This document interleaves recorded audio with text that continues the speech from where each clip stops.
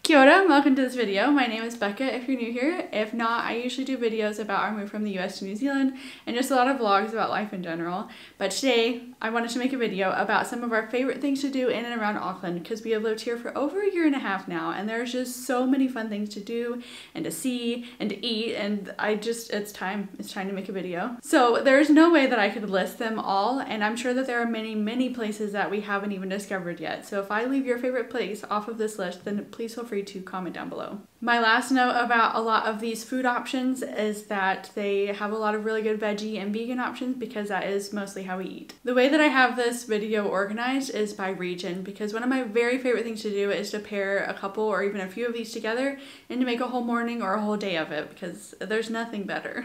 So the first region I'm going to talk about is West Auckland Waitakere Range because it is one of my favorite areas of Auckland. First thing is when we head out to the Piha area, we love to stop in Titirangi. Probably saying that incorrectly. But there are just a couple of really good little cafes there. Some of our favorites are Deco Eatery. They have the most delicious hokey pokey coffee and it's a Turkish restaurant and so you can get really good Turkish food. And right around the corner from that is the Stripe Cafe and they have, again, really good food. And then if you wanted to just make a little morning of this area, there's some really cool bushwalks just right down the road. Zigzag Track is one of our favorites and it's just a lot of fun. If you continue further, there is the beautiful Peacock Beach. I think this is one of my very favorite places. The beach itself is black sand. All of these beaches on the west coast, I'm going to throw this disclaimer in, they're very dangerous to swim in, but they are just so rugged and wild and beautiful and we love going out there. You should never really try to go swimming there unless you are experienced or trying to surf or something. But one time we did get lucky and the lifeguards were there, they had the flags out and there were a ton of people out swimming so we went and did it and it was one of the best days of our life. It was so much fun. There are a couple of really good tiny, tiny little walks. You can walk up Lion Rock and get a beautiful view of the whole area. And then there's also the Tasman Lookout. So you can just walk right up there and it has the most beautiful sunsets you could ever dream of. Another great experience that you can do here is there's a really delicious ice cream cart. And they have some of the most yummy ice cream. So definitely try them out. Something else that we always try to pair with our Piha excursion is the Kitekite Falls. They're just right down the road and it's just a fun little bushwalk. It's not too terribly difficult or long. It actually has tracks that go to the bottom of the falls and all the way up to the top. You get both views and they're both spectacular and it is just such a fun and very beautiful experience that I can't recommend enough. So a separate day hike. if you want to go and start at Northern Piha, you can actually take a lot of little tracks all the way up to White's Beach. This is a very secluded and beautiful beach and it almost feels like a private beach. Like every time we go to it, there's nobody else there. And then if you want to be super adventurous, you can go even further all the way up to Anawhata Beach and it's just a really fun whole day hike. My one note about this is that you absolutely have to check the tides because if the tides are high, it's inaccessible for many parts of it. Another great little morning walk that you can do in this area is Mercer Bay Loop. There's just all these different tracks that you can go around and it just has some of the most beautiful and majestic views of the coast. I told you that this is one of our very favorite areas because I just have so many places to recommend. But the next one has to be Kare Kare Beach.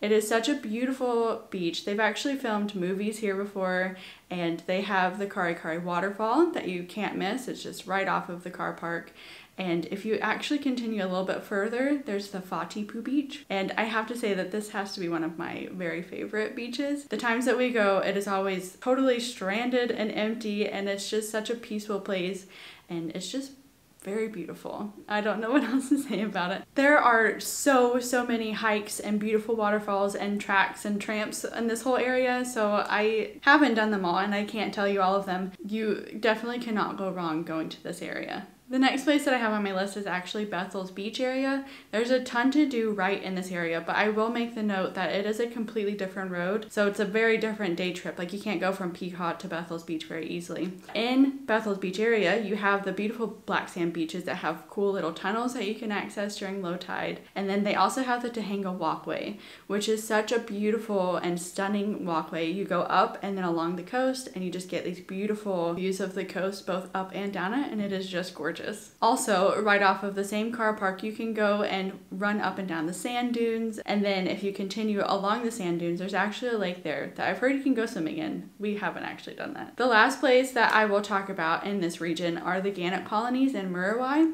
I'm going to say that I recommend to go once. We did, and it's a fun experience, if not a little bit stinky. yeah, it's just a ton of gannet birds that just live in their little colonies and it's a pretty cool place to go and see. So now that we are done with my very large recommendations list of the West Auckland area, I'm going to move down to South Auckland. I will be the first to admit that I feel like I haven't explored this area enough, but one of my favorite things to do is to go to the Hill House Cafe. They have some delicious and amazing pastries and it's really fun because it's actually built in an old homestead and they've turned it into an art studio. So it's just a really fun place to actually go and hang out. And then just a couple minutes down the road, you have the Auckland Botanic Gardens, and this is just a really great place to run around, especially if you have young kids. It's all enclosed and well kept up and so beautiful. Some other places that are really great if you have kids, there's the Ambury Farms. It's just a fun place to go. You can go and pet all the sheeps and, you know, you can see the cows being milked. There's also Manukau Steamers, which runs every Sunday, and it's just a really great place to go if you have young kids. It's these little steam engine trains, and kids absolutely love it. So that's a really great morning activity. Another place that I wish we have explored more of is the Hunua region. There's a bunch of bushwalks and really beautiful falls. We've only been there once, but we need to go back again. The last place that I've discovered in this area is the Farmhouse Cafe. It is such a cute little place. They have these water buffalo. There's a great little playground that they have there. It's really kid friendly, which I really love and appreciate in cafes. They have really delicious food and it's just such a cute and vibey place. Next region is East Auckland. So one of our favorite little beaches that we have ever found is called Karaka Beach. You have to kind of hike down to it, but it's more of a secluded kind of like, it almost feels like a little bay and it's just a nice peaceful beach beach that you can go and swim at, and there tends to be less people, and it's just a beautiful way to spend your day in the summer.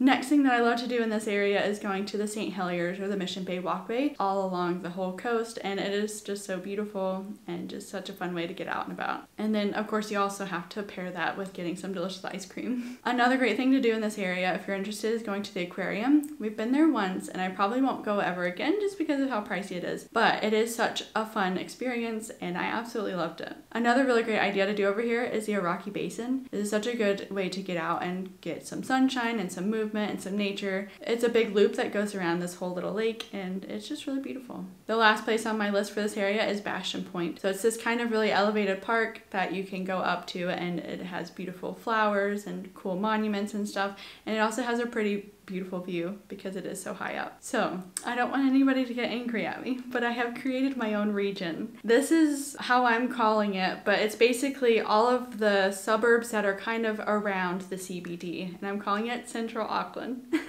First place in this region you have to go check out, of course, is Cornwall Park. It is just a beautiful green space park that has all these really old, beautiful trees and lots of walkways. A lot of people go there to go biking or to go running, go there with their kids, and it's just a really cool place if you learn a little bit of the history there. And so I can't recommend it enough, especially if you want to feel like you're getting out of the city without actually having to get out of the city. So if you're in this region, one of our favorite things to do is going to the Domain, which is just a really beautiful well kept up green area that has a lot of really big, beautiful trees. They have duck ponds and a lot of walkways through native bush. In the domain, you have the Auckland Museum, which is free if you're an Auckland resident, and it is just such a perfect way to spend a nice rainy day especially if you have young children because they can just run around, you can learn some really cool things, and it's just a really well done museum. Also, right next to the museum, still in the domain, are the Winter Gardens. It's a really fun place to just give a wander, and it's very beautiful and well kept up. Also in this region you have MOTAT, which is the Museum of Transportation and Technology.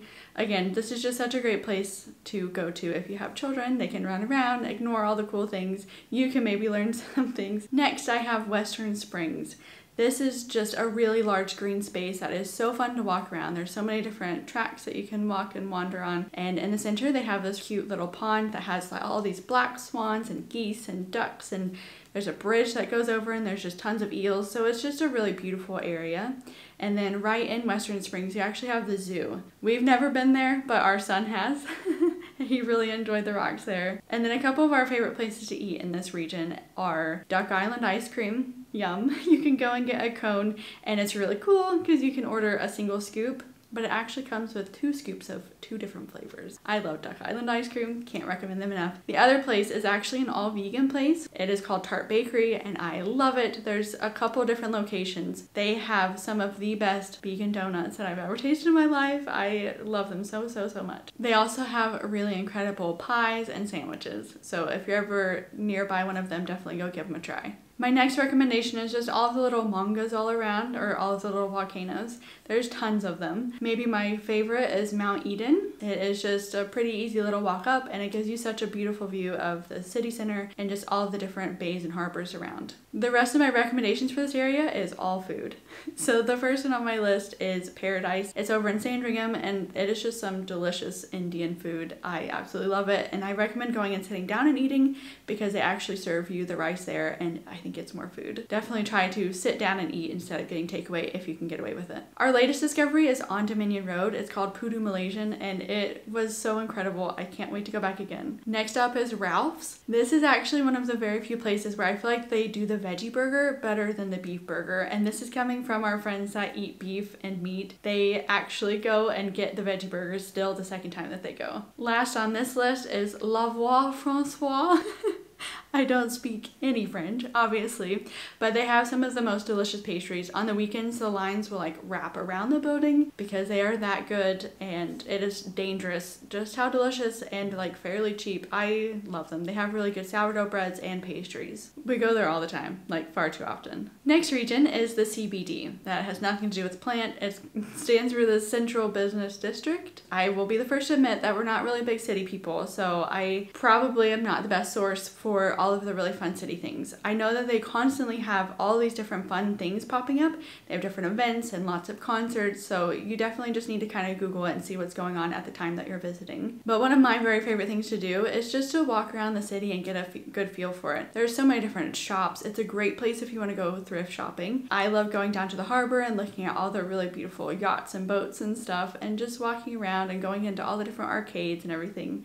Like that that's my number one favorite thing to do. Another must do is walking down K Road. There's a lot of things there like the thrift stores and some of the very yummy food that they have. Another thing that I love to do is going down to Commercial Bay. They have a food area on the upper floors. I have never gotten bad food from there. I just want to try everything and it's all delicious. If I had to pick one very, very favorite restaurant to eat at in the CBD, it would have to be Nom. It's Thai and it is absolutely incredible. I, I would eat there every single day if I could. The next region on my list is the North Shore, and a lot of Aucklanders like to complain and say that it is so far away, but it is actually not at all especially if you're not going over the bridge at peak rush hour times. My first recommendation for this region is actually pretty much all of the North Shore beaches, which is a lot, but to try to narrow it down, a lot of people will recommend Takapuna Beach, and I understand why. I think it's the prettiest. It has a lot of shells that line the beach, so it makes it really beautiful, and then the actual area of Takapuna is really built up and has a lot of fun shops and a lot of really good food. But for an actual day of just swimming and lounging at the beachfront, I actually recommend going a little bit further north up to Browns Bay or Long Bay Beach. Those beaches are just a lot more sandy and there tends to be a lot less people because a lot of the people like to go to Takapuna. There's also a really great pie place if you are going all the way up to Long Bay Beach. I think it's called Euro Patisserie. Another really fun place to go to if you're up in this region is Birkenhead Domain. Again, it's one of those really wonderful places that if you want to get out of the city without having to get out of the city, you just step your foot into the domain there and it feels like you are in a totally different part of the island. It's all native bush and it just completely encapsulates you into nature and it's just such a great getaway. We like going to Birkenhead Domain because it's kind of close by to one of our very, very, very favorite restaurants in all of Auckland that we have ever discovered, which is Mahi Kitchen. They have the most delicious curries, but if you go, I cannot recommend enough the Malabari Paneer Curry. It is so good. We have gone there so many times, even though it is so far out of the way for us, but anytime we go up to the North Shore, we make it a point to get Mahi Kitchen. There's so much to do up in the North Shore, but the last place that I'll recommend is going down to Devonport. It is kind of a pain to get to, but there's two options. If you go from the CBD, you can actually take a ferry up to Devonport, or you can go over the bridge, but you kind of have to go all the way down and around to it. But there's just a lot of really fun things that you can do there. So you can go up one of the maungas there, which is Mount Vic, and that gives some really beautiful views.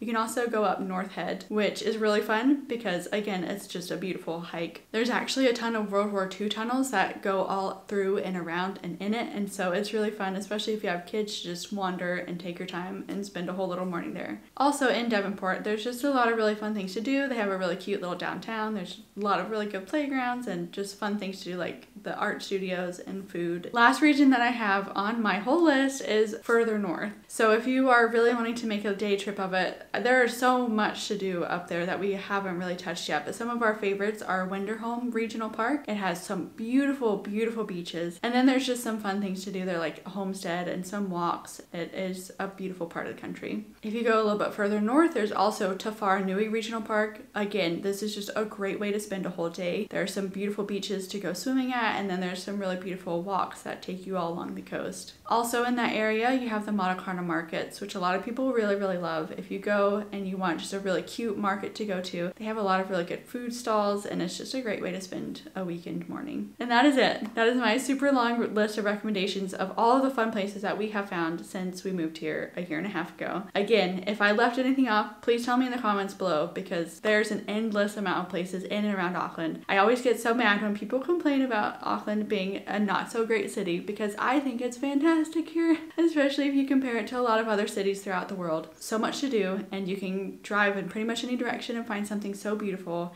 and it just doesn't have a big city vibe to it and I love it here. Anyways, I think that's all I have to say. Thank you so much for watching and I'll see you guys next week. Bye!